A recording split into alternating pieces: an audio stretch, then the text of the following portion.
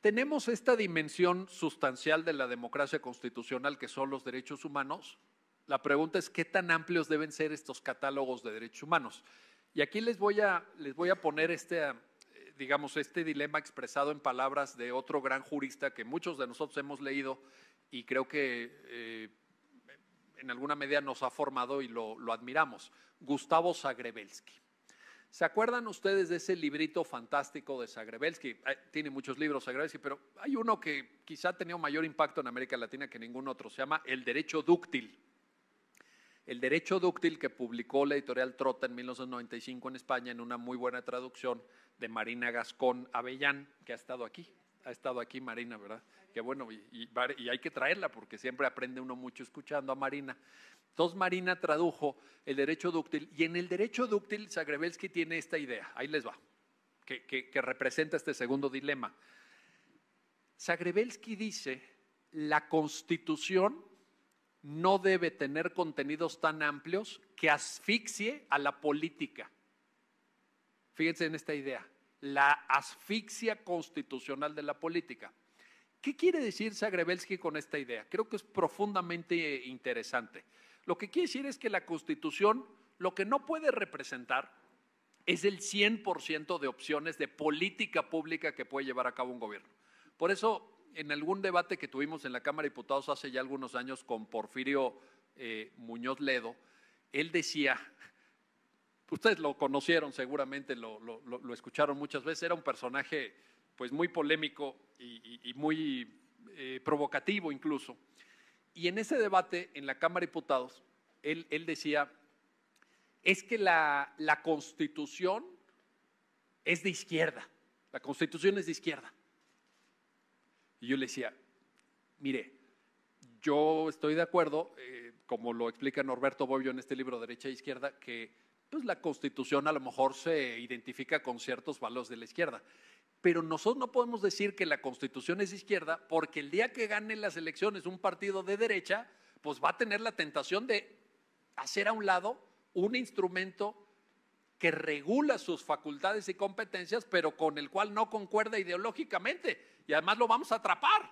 Le vamos a decir al partido de derecha, usted, que es un partido de derecha que fue a una campaña electoral ofreciendo un programa político de derecha, gana y está sujeto y vinculado a una constitución de izquierda. Pues imagínense qué relajo, eso va a ser un fraude monumental.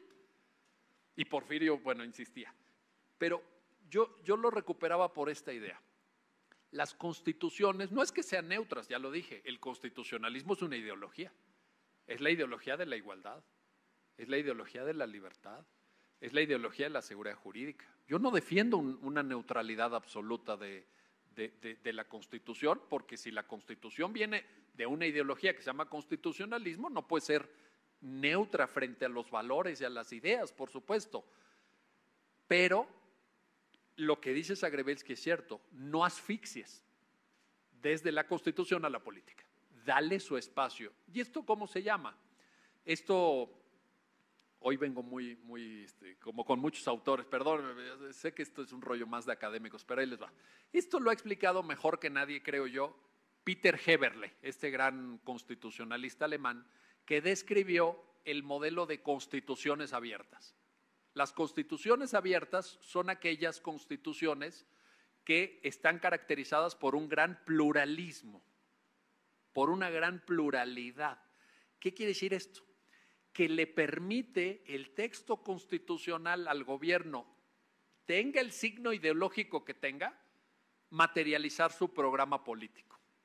Por eso a mí me hace mucho ruido cuando veo en la Constitución mexicana artículos como el artículo 27, como el artículo 28, el propio artículo, bueno, el 25 y el 26 menos, pero digamos el 27 y el 28, donde por ejemplo hay muy claras ideas de manejo de la economía, ¿no? Entonces, la economía, en, materia económica, el Estado tiene que hacer A, B y C y los particulares no pueden hacer A, B y C.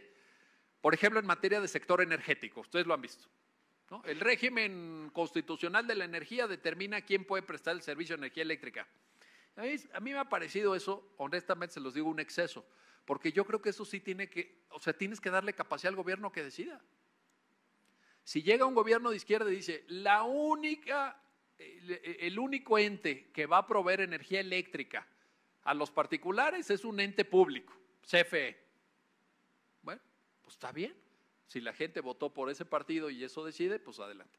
Pero si llega un partido de un signo contrario y dice, no, fíjate que junto a la producción de energía eléctrica del Estado tienen que estar también los particulares, porque necesitamos inversión, porque necesitamos, en fin, una serie de nuevas tecnologías que, el Estado no tiene y no provee, pues adelante. Pero el problema es si lo pones en la Constitución porque entonces cuando llegue un gobierno de otro signo vas a tener que cambiar la carta constitucional. Entonces ahí ya estás metido en problemas. Ya no es una constitución abierta. Esa es la importancia de las constituciones abiertas, es la importancia del tema. No es un concepto eh, simplemente con afanes académicos o teóricos, es un ejemplo práctico. Las constituciones no deben asfixiar la política. ¿Qué tan amplios deben ser los derechos? Por ejemplo, imagínense que dijera la Constitución en el artículo cuarto, toda persona tiene derecho a la salud, la cual será provista exclusivamente por el Estado. Todos los hospitales privados cerrados. O la educación. La educación la proveerá el Estado, todas las escuelas particulares están prohibidas a partir de mañana. Entreguen sus instalaciones TEC de Monterrey, Universidad Iberoamericana, Universidad no sé qué, Centro Carbonel, nosotros tenemos unas instalaciones muy pequeñas, así que no habría problema, pero, pero imagínense, imagínense que la constitución dijera eso. Pues eso es una elección ideológica que asfixia la posibilidad de llevar a cabo programas políticos cuando la mayoría cambia. Porque es la ventaja de la democracia, las mayorías cambian. Lo que parecía una mayoría abrumadora, permanente, histórica, etcétera, pues incluso en México cayó ha caído en muchos países. Esto es algo que, por supuesto nunca hay que, hay que olvidar. Y no hay que olvidarlo porque en México, eh, pues también he escuchado esta crítica que se había planteado originalmente en Estados Unidos de que ya tenemos demasiados derechos. No sé si lo han escuchado. Oye, ya, ya, ya, ya tenemos demasiados derechos. Incluso me ha tocado discutir esto en clase con los alumnos de posgrado, ¿no? En maestría, en doctorado, te dicen, es que ya hay demasiados derechos, todos son derechos, todo, te, la pasas tú hablando de derechos. Y yo les digo, para refutar este, porque yo no estoy de acuerdo con esto, ¿eh? yo no estoy de acuerdo que tengamos demasiados derechos, al contrario. O cuando dicen, es que el Poder Judicial es demasiado garantizado. Hoy en la mañana lo escuché en una conferencia de prensa. Escuché a la secretaria de Seguridad Ciudadana decir que los jueces liberan y los jueces son muy, son muy, pues, ¿en qué modelo de juez está pensándose ya? Porque, bueno, pero para empezar, tampoco, o sea, no, discutir así jurídicamente puntos finos tampoco es fácil ni sencillo, porque imagínense esta persona que tiene tan alto cargo, tan relevante, y va a tener lo más alto y más relevante en el siguiente gobierno, que tilda personas que están sujetas a proceso, vinculadas a proceso, hoy lo escuché, se los digo por eso, los tilda como delincuentes. No, pues espérame, regrésate a cuarto semestre. No, regrésate a cuarto semestre. Bueno, ni te regreses, ya no, no tiene caso, pero abre tu constitución en el artículo 20 que hasta donde yo me quedé el día de ayer que la abrí, pues todavía hablaba del principio de presunción de inocencia, a menos que la hayan también reformado hoy en la mañana. Que no creo, pero hablaba de la presunción de inocencia. Bueno, separa una autoridad del máximo rango y dice las personas que están vinculadas a proceso, porque estaba discutiendo que si medida cautelar, que si le quitaba la prisión preventiva, no sé qué, esos delincuentes. No, yo me quedé la. O sea, no, no entendieron nada. No entendieron nada. Entonces, sí creo que es importante hacer esta segunda reflexión, este segundo dilema.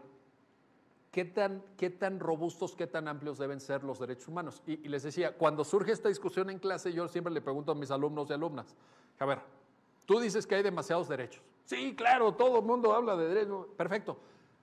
Abre tu constitución y dime cuál quitamos. Sí, dime cuál quitamos. Y hago este ejercicio. Déjame, yo también abro mi constitución y vamos por partes. ¿Te parece bien? Órale, vamos. Artículo primero. Prohibición de esclavitud en el párrafo cuarto. ¿Lo quitamos? ¿Que hay esclavitud otra vez en México? No, no, no, no. Ah, perfecto. Párrafo quinto. Prohibición de discriminación.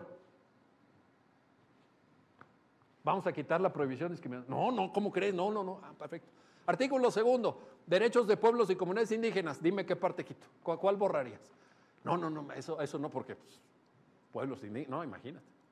Artículo tercero, derecho a la educación. Quitamos el derecho a la educación. No, no, y así nos vamos. ¿Y saben qué sucede en esas discusiones en clase? Que al final dicen, pues no hay que quitar ninguno. No, pues Bueno, yo sí quitaría uno. Lo he escrito varias veces. Uno sí. Porque Ferrayoli dice que en realidad no es un derecho fundamental, eh, en sentido conceptual. Y es, entre comillas, el derecho que establece el artículo 10 de la Constitución de tenencia de armas. Porque Ferrayoli dice que uno de los fundamentos del Estado constitucional es la paz.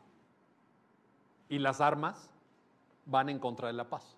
Y las armas son instrumentos que fueron creados única y exclusivamente para violar derechos humanos, la vida, la integridad física, etc. Entonces ese derecho a las armas, de particulares, entiendo, no soy tan ingenuo para pensar que el Estado no tenga armas, por supuesto que el Estado tiene que tener armas, pero no los particulares. Pero de ahí en fuera, la verdad es que el hecho de que hoy tengamos un catálogo ampliado de derechos también responde a nuevas realidades.